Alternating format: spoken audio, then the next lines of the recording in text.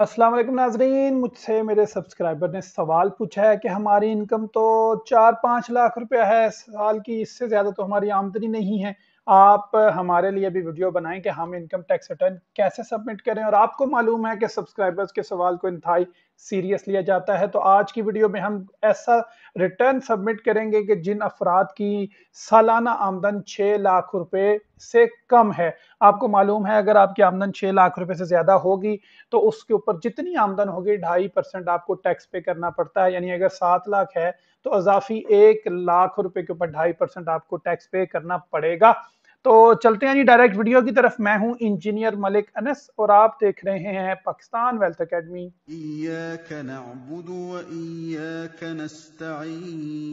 नाजरीन, ये है एफ़ बी आर की I S two point zero. यहाँ पर शनाख्ती कार्ड नंबर दर्ज करें, अपना पासवर्ड दर्ज करें। अगर नहीं अकाउंट बनाया तो न्यू रजिस्ट्रेशन पर क्लिक कर लें और अगर ये भी नहीं आता तो नीचे डिस्क्रिप्शन में नया एन टी एन बनाने का तरीकाकार मौजूद है, वहाँ से देख सकते हैं। लॉग इन करेंगे जी, डायरेक्ट हम जाएँगे आपका टाइम वेस्ट किए बगैर इनकम टैक्स रिटर्न पर। 2023 का पीरियड सेलेक्ट करेंगे।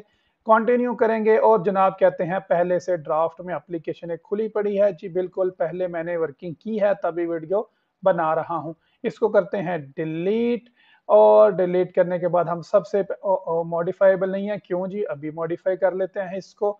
यहाँ से हम करेंगे कैंसिल क्योंकि ये फाइनल स्टेज पर जाके पड़ी हुई थी एप्लीकेशन मेरी। इसको करते हैं कैंसिल और कैंसिल के बाद अब इसको करते हैं क्लोज और क्लोज के बाद अब हम इसको करते हैं यहाँ से डिलीट जनाब, चार लाख रुपए, पाँच लाख रुपए अगर आपकी आमदन है तो ऐसी सूरत में आप रिटर्न कैसे फ़ाइल करेंगे? सबसे पहले आप अपना पिन कोड चेंज कर लें, क्योंकि अगर आपको स्टेज के लास्ट स्टेप पर जाकर याद ही नहीं कि आपकी पिन कोड क्या है तो फिर हमें क्लोज करके दोबारा से एप्लीकेशन पे स्टार्ट करना पड़ेगा।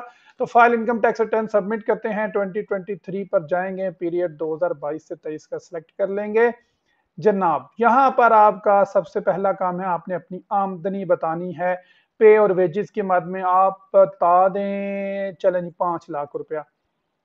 ये हमारी जी आमदनी हो गई पाँच लाख रुपया और कहते हैं बिज़नेस हेड में अपने को अच्छा आपको अगर ये एरर नज़र आए तो मैं आपको बता दूँ, ये आपने अदर्स में जाकर तो यहाँ पर आपने ज़ीरो सबमिट कर देना है और कैलकुलेट कर लेना है।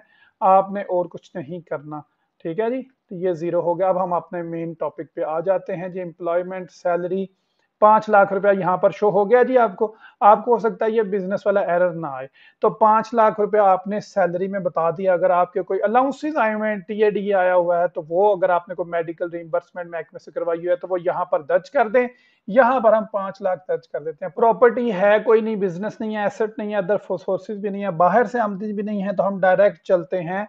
टैक्स चार्जेबल पर, जो कि है हमारा कंप्यूटेशन में। अब आसान सी बात है, क्योंकि छः लाख से कम आमदनी है, इसलिए यहाँ पर हमें टैक्स एडमिटेड टैक्स जो है वो ज़ीरो होगा। यहाँ पर देखें, कोई एडमिटेड टैक्स नहीं है ज़ीरो है, इसलिए अब हम चलते हैं अपनी वेल्थ स्टेटमेंट पर। पर्सनल एक्सपेंसेस जनाब, पाँच लाख आमदन थी। अब आप बताएँ, किराए की मद में आपने कितना दिया?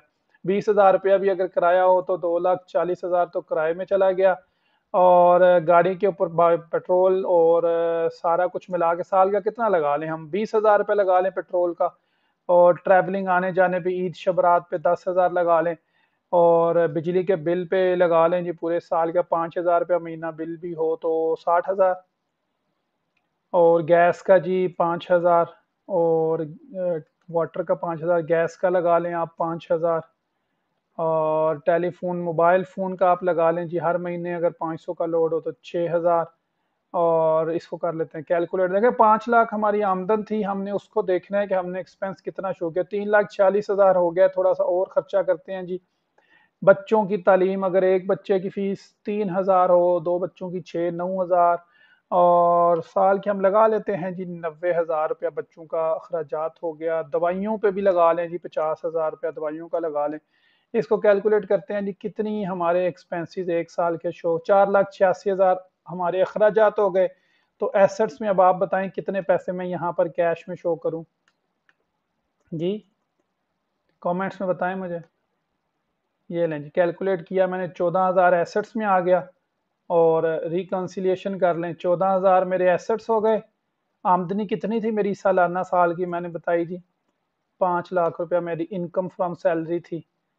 पाँच लाख आमदनी हो गई, चौदह लाख इधर चला गया, छियासी हज़ार, चार लाख छियासी हज़ार खर्चा हो गया तो ये ज़ीरो आ गया तो ये बस सबमिट कर दें। अगर किसी के बहन भाई ने बाहर से कोई पैसे भेजे हुए रेमिटेंस में तो वो आप लिख सकते हैं यहाँ पर कि दो लाख रुपया बाहर से रेमिटेंस भी आया अब ये दो लाख किधर गया है?